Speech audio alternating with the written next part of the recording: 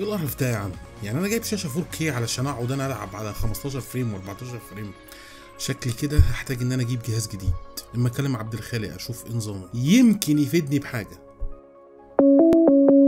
في سنة 1946 جريس هوبر انضمت لفريق هارفارد مارك II في كلية هارفارد كعالمة كمبيوتر. أمم. وكل شوية كل ما أجي أسجل حاجة حد يرن في إيه؟ آه ده كابتن إيجي. طبعا نشوف عاوز إيه. إزيك يا كابتن؟ السلام عليكم. ازيك يا عبد الخالق؟ عامل إيه؟ الحمد لله إيه الأخبار؟ آه تمام الحمد لله. بص بقول لك إيه يا عبد الخالق؟ أنا بفكر ان أنا اجمع جهاز جديد فكنت عايز اخد رأيك بقى في شوية الحاجات اللي إحنا هنجمعها في الكمبيوتر وكده. بس الموضوع هيكلف شوية لو واخد بالك يعني. آه، اعمل حسابك ان أنا هعمله 4K كمان. لا كده هيكلف جامد.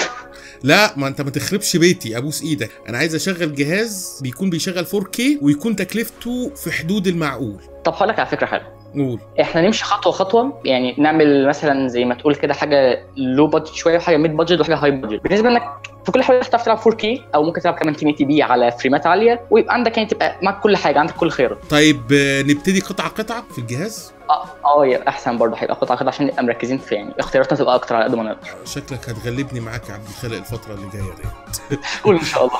إن شاء الله بإذن الله. خلاص ماشي يا باشا. يلا نبتدي بقى. يلا بينا. يلا بينا.